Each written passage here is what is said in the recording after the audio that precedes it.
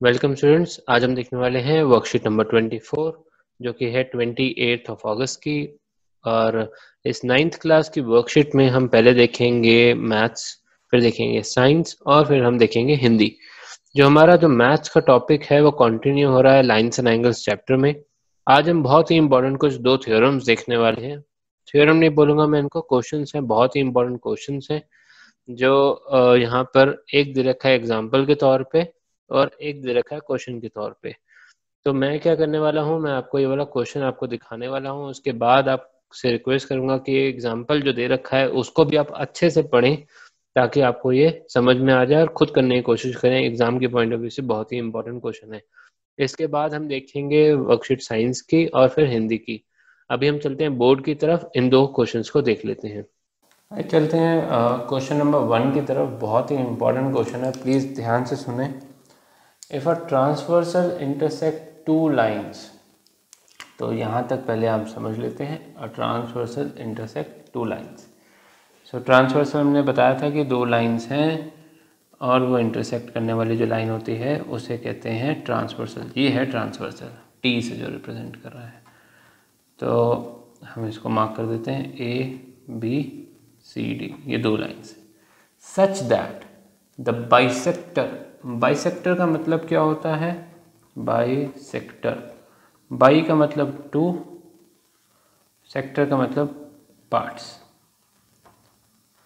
By sector का मतलब होता है टू इक्वल पार्ट्स। ठीक है, ये डेफिनेशन है, बहुत इंपॉर्टेंट है, ज़रा इसको याद रख लें और लिख लें नोटबुक में। बाई सेक्टर का मतलब क्या होता है?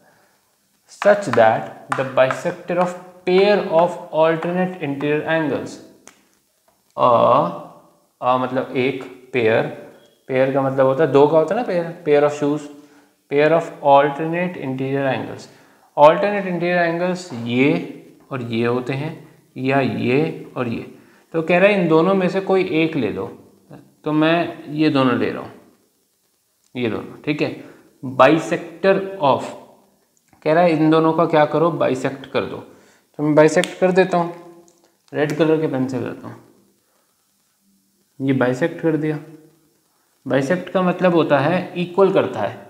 तो ये जो एंगल वन और एंगल टू है, वो दोनों इक्वल हो जाएँगे।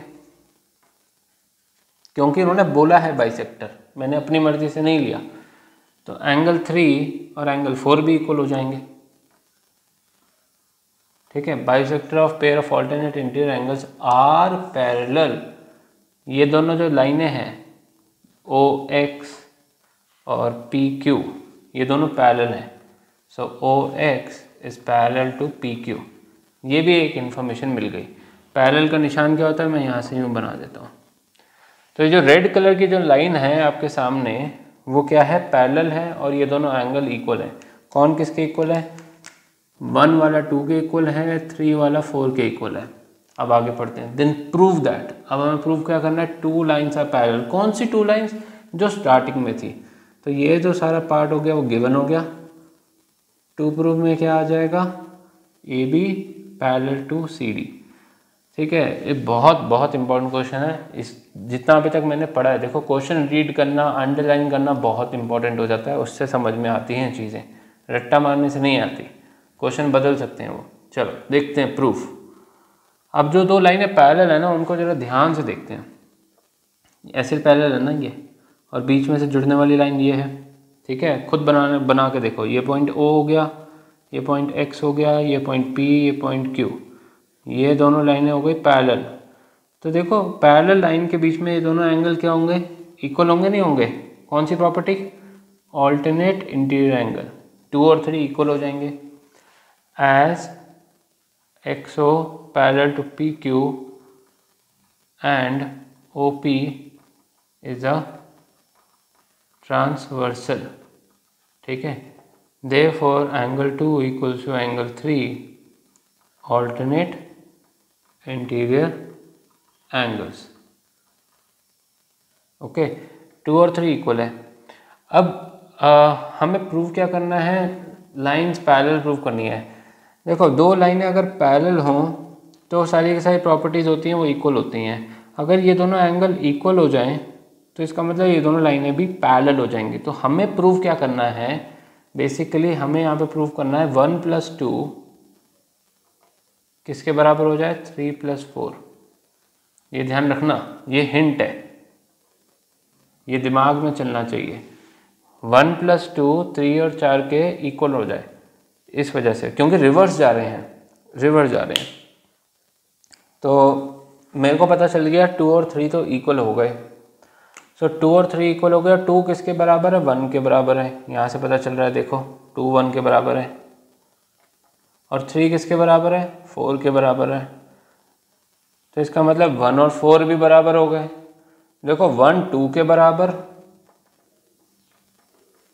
यहाँ से टू किसके बराबर? टू थ्री के बराबर। और थ्री किसके बराबर? थ्री फोर के बराबर।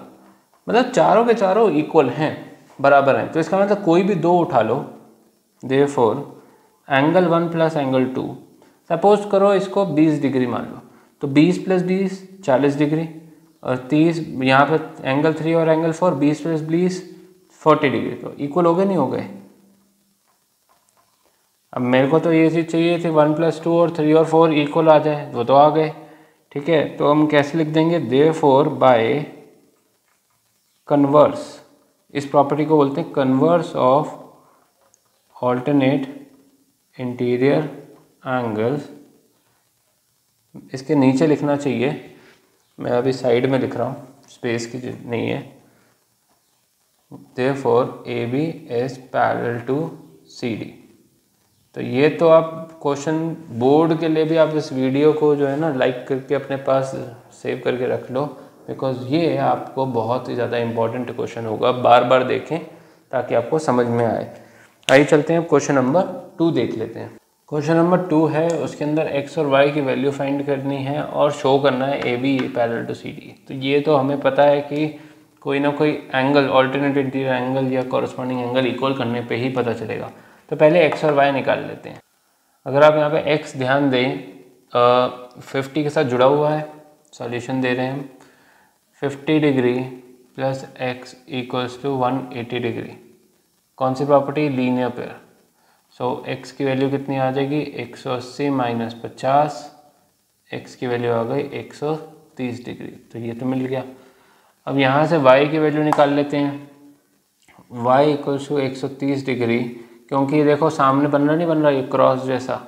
तो ये सामने वाला एंगल कौन सी प्रॉपर्टी वर्टिकली ऑपोजिट एंगल्स पूरी प्रॉपर्टी लिखी है वर्टिकली ऑपोजिट एंगल्स अब देखो, यहाँ पर x की वैल्यू भी 130 आ रही है, y की वैल्यू भी 130 आ रही है क्रॉस में जा रहा है ना ऑल्टरनेट इंटीरियर एंगल प्रॉपर्टी लग रही है, यहाँ पर इक्वल हो गया।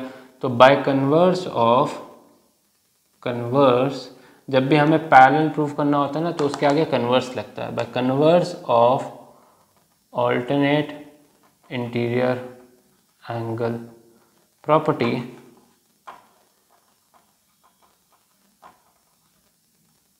is parallel to C D hence proved तो हमारा ये हो गया प्रूव तो अगर कोई डाउट हो इसमें तो आप कमेंट सेक्शन में पूछें। अगर पसंद आई हो तो प्लीज़ लाइक करें सब्सक्राइब करें और शेयर करें अपने दोस्तों के साथ। इससे हमें भी मोटिवेशन मिलता है, हमें भी प्रोत्साहन मिलता है।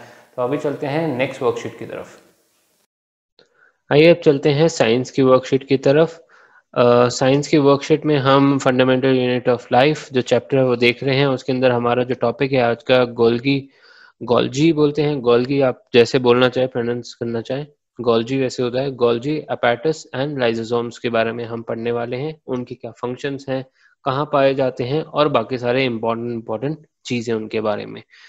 तो आइए चलते हैं गोल्गी बॉडीज के बारे में पढ़ लेते हैं। Is a cell organelle that consists of network of membrane bound ves, vessels arranged parallel to each other in sac of cisterine. So basically कहाँ पाए जाते हैं? ये इमेज जो है बहुत अच्छे ढंग से यहाँ पे नहीं आपको दिखाई दे रही होगी। तो मैं आपको इसको इनलार्ज करके अभी यहाँ पे दिखा देता हूँ। तो ये जो आपके सामने इमेज आई है, और उसके राइट साइड में आप देखेंगे, ये जो पैरेलल लाइंस जैसी ट्यूब्स जैसी आपको दिखाई दे रही हैं वो क्या है? गोल्जी बॉडी तो इसके बारे में इनका काम क्या होता है वो देख लेते हैं। दे में कनेक्ट टू ईआर ईआर क्या था? हमने लास्ट वीडियो में हमने देखा था। uh, था endoplasmic reticulum they may connect मे मतलब शायद कनेक्ट होती है शायद नहीं भी होती है। हमेशा ज़रूरी नहीं है। The material synthesize near the ER are sent to Golgi bodies तो जो मटीरियल ईयर में जो बनता है, उसके आसपास जो बनता है मतलब वो कहाँ भेजा जाता है? गोल्जी बॉडीज में भेजा जाता है। क्या क्या है? प्रोटीन लिपिड्स वो वहाँ पर जाके स्टोर कर दिया जाता है। Are store modified package and dispatch in and out of the cell through Golgi bodies Golgi apparatus भी बोलते हैं। As per the need of the cell तो आपको इसका पर्पज समझ में आ गया होगा। तो बेसिकली क्या होता है? ई आर एंडोप्लाज्मिक रेटिकुलम में जो चीज़ें बनती हैं प्रोटीन और लिपिड जैसी चीज़ें, वो कहाँ पे भेजी जाती हैं? गोल्जी बॉडी में भेजी जाती हैं और वहाँ से डिस्पैच करा जाता है कहाँ पर? पूरे सेल में। तो ये एक तरीके से आप समझ सकते हैं, ये एक वेयर हाउस है। वेयर हाउस जहाँ पे सामान स्टोर करा जाता है। आगे देख लेते हैं how does a cell keep itself clean देखो, जैसे मैंने आपको बोला कि सेल अपने आप में एक तरीके से ह्यूमन बॉडी है, एक पूरी चीज़ें होती हैं, उसके अंदर खाना बनता है उसके बाद उसको एक्सक्रीट भी करा जाता है। तो यहाँ पे क्वेश्चन पूछा जा रहा है कि सेल अपने आप को क्लीन कैसे रखता है? तो वो अपना वेस्ट मटेरियल कैसे बाहर निकालता है? तो उसके अंदर कौन काम करता है? Golgi apparatus is also involve in formation of cell organelles known as lysosomes so Golgi bodies किसको बनाने में मदद करते हैं? लाइजोजोम्स को। तो यहाँ पर आप देखेंगे एक एनिमल सेल यहाँ बनाया हुआ है, उसके राइट साइड में लाइजोजोम्स यहाँ पर आपको दिखाई दे रहा होगा।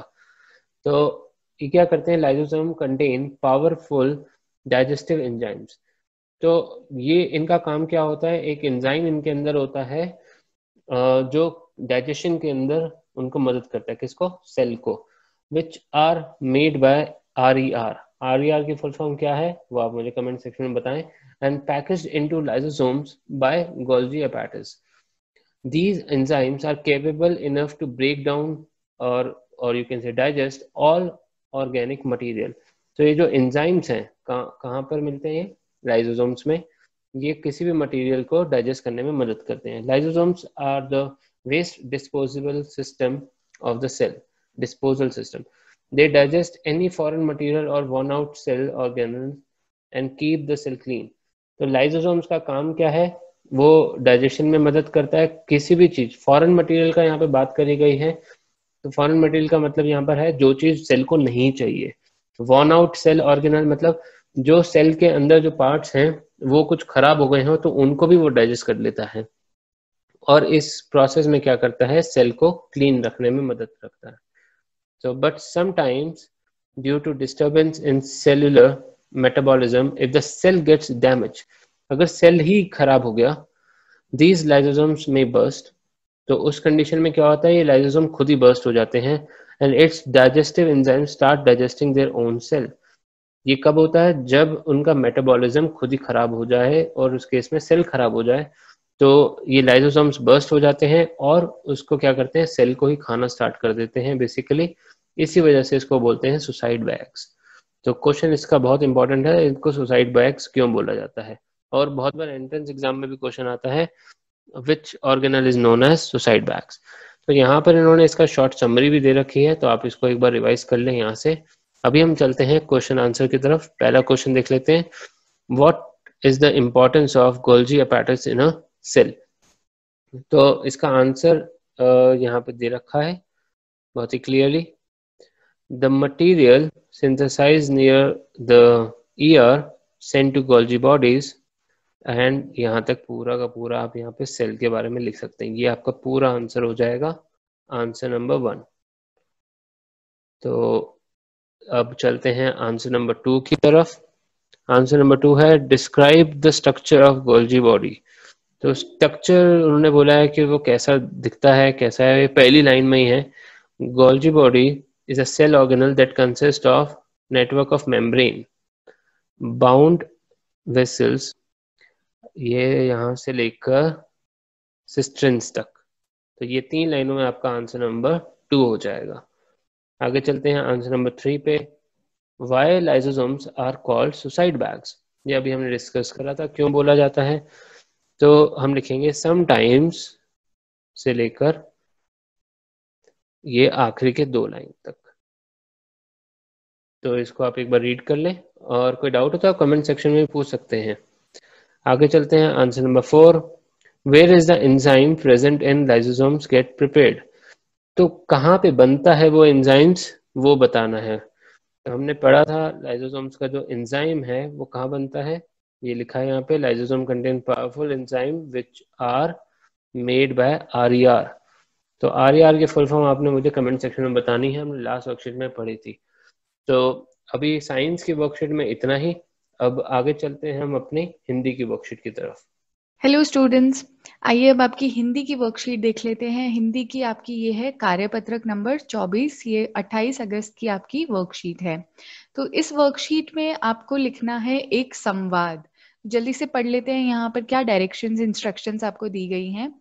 दो व्यक्तियों के बीच किसी विषय या मुद्दे पर बातचीत को संवाद कहते हैं। तो जब आप आपस में कोई कॉन्वर्सेशन करते हैं, कोई बातचीत करते हैं तो उसे संवाद कहा जाता है, यानी डायलॉग कहा जाता है। सामान्यतः हम लोग कई मुद्दों पर संवाद या बातचीत करते रहते हैं और इस बातचीत में अपने विचार या राय एक दूसरे के साथ साझा करते हैं। तो हम जो भी सोच रहे होते हैं, जो भी हम कहना चाहते हैं, वो हम एक दूसरे से शेयर करते हैं, उसी को संवाद या बातचीत कहते हैं। आइए हम भी एक विषय जो हम सभी से जुड़ा है, उस उस पर बात करें। तो बारिश से होने वाली परेशानी अथवा समस्या पर दो मित्रों के बीच संवाद लिखने का प्रयास कीजिए। तो यही आज का आपका टास्क है। यहाँ थोड़ा आपको एग्ज़ाम्पल भी दिया हुआ है। जैसे ये जो इंसान है, ये दूसरे इंसान से कुछ बात कर रहा है। मित्र, कहाँ जा रहे हो? क्या तुम मुझे भी ले चलोगे? ज़रूर मित्र, क्या तुम्हारे पास अतिरिक्त हेलमेट है? इस बारिश में कहीं भी आना जाना दूबर हो गया है। हाँ भाई, तुम ठीक ही कह रहे हो। तो ये आपस में यहाँ पर कॉन्वर्सेशन कर रहे हैं, बारिश में बातचीत कर रहे हैं। तो इसी तरह से आपको भी बारिश के ऊपर यहाँ पर, जैसे यही आपका टास्क है, बारिश से उत्पन्न परेशानियों अथवा समस्याओं से बचाव के लिए उपाय एवं सावधानियों विषय पर अपने मित्र के साथ संवाद लिखिए। तो आपको दो लोगों के बीच में कॉन्वर्सेशन लिखनी है वो बारिश के टॉपिक पर। तो जल्दी से वो कॉन्वर्सेशन भी देख लेते हैं। तो यहाँ हमने दो नाम लिखे हैं, रमेश रमेश और सुरेश करके नाम हमने लिखे हैं। आप यहाँ पर अपना नाम लिख सकते हैं और अपने मित्र का यहाँ पर नाम लिख सकते हैं। साथ ही साथ ये आपस में कॉन्वर्सेशन है तो आप अपने हिसाब से इन बातों को, इस बातचीत को आप बदल सकते हैं। तो आप यहाँ पर पढ़ सकते हैं, रमेश कह रहा है, अरे सुरेश, इस तेज बारिश में कहाँ से आ रहे हो? तो सुरेश कहता है, कहीं से नहीं, मित्र, बस पास की दुकान से दूध लेने गया था, घर पर खत्म हो गया था, नहीं तो इस भारी बारिश में कौन ही बाहर निकले? हाँ मित्र, इस मौसम में पहले तो हर जगह पानी भरे रहने की समस्या, सभी कपड़े भीग जाते हैं और आने जाने में बड़ी मुश्किल होती है, साथ ही सर्दी, जुकाम लगने का डर, अदरक वाली चाय या हल्दी वाला दूध पीकर ही थोड़ा चैन पड़ता है। हाँ मित्र, इस मौसम में तो पूरे कपड़े पहनकर निकलना ही बेहतर है। डेंगू के मच्छरों के काटने का भी तो डर है। सही कहा मित्र, साथ ही घर का साफ़ भोजन ही करना चाहिए। क्या पता बाहर के खाने में कौन सी गंदगी हो जिससे फ़ूड पॉइजनिंग हो जाए। बिल्कुल ठीक कहा मित्र। चलो, तुमसे बात करके अच्छा लगा। अभी घर पर सब इंतज़ार करते होंगे। फिर मिलता हूँ। अपना ख्याल रखना। हाँ मित्र फिर मिलते हैं तुम भी अपना ख्याल रखना। तो आप देख सकते हैं कि कैसे इन्होंने बारिश के कॉन्टेक्स्ट में एक दूसरे से बातचीत की साथ ही साथ बारिश में जो परेशानियाँ होती हैं वो उनका भी डिस्कशन किया और उन, उनसे कैसे बचा जा सकता है क्या सावधानियाँ हमें बरतनी चाहिए उन पे भी कॉन्वर्सेशन की। आप अपने हिसाब से यहाँ पर इस बातचीत में बिल्कुल बदलाव ला सकते हैं बल्कि अगर आप कुछ भी नया आंसर लिखते हैं तो ज़रूर हमें कॉमेंट सेक्शन में बताइए कि आपने अपने आंसर कैसे लिखे हैं। उम्मीद करते हैं ये वर्कशीट आपको अच्छे से समझ आ गई होगी। कोई भी डाउट है तो कमेंट सेक्शन में पूछिए और इस चैनल को ज़रूर लाइक और सब्सक्राइब कीजिए और अपने फ्रेंड्स के साथ भी शेयर कीजिए। Thank you